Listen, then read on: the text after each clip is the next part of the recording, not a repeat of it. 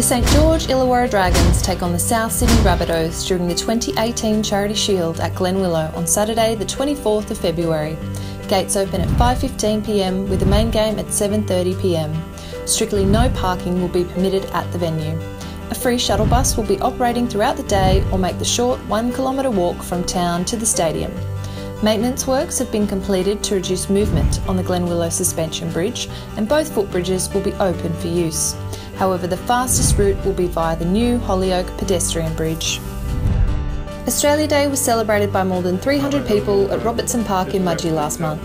Ambassadors Judy Nunn and Bruce Venables presented Australia Day awards to deserving residents in 11 categories. Carolyn Peake was named Citizen of the Year for her work with those with an intellectual disability and their families. It's been an honour to, to work with such wonderful people. Um, the clients that we work with, their families. I have got an awesome staff, volunteers, board, wonderful community that backs us, um, the tradies, the local businesses. I can't thank you enough for coming on the journey with me.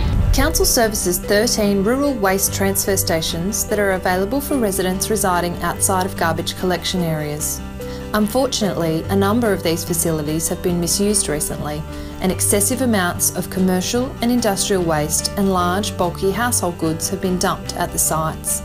Last month, 15 full 44 gallon drums containing chemical waste were dumped at a rural site.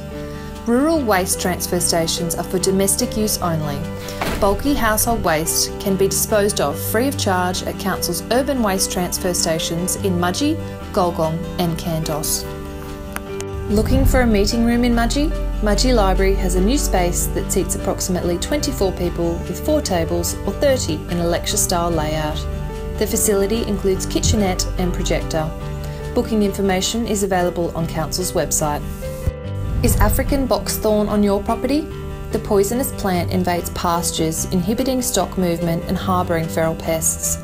Mechanical removal and chemical application is the best control method. For more information, contact Council's Weeds Department on 6378 2850.